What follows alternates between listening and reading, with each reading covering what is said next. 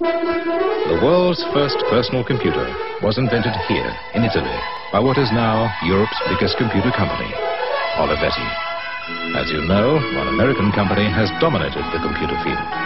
But now, Olivetti has joined forces with the world's largest communications company, AT&T, the American giant, once known as Bell System.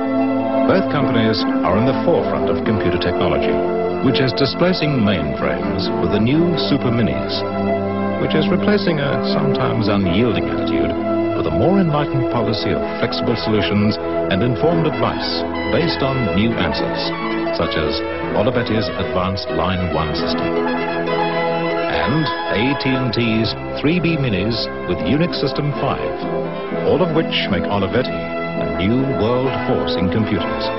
Think beyond the obvious. Consider the intelligent alternative.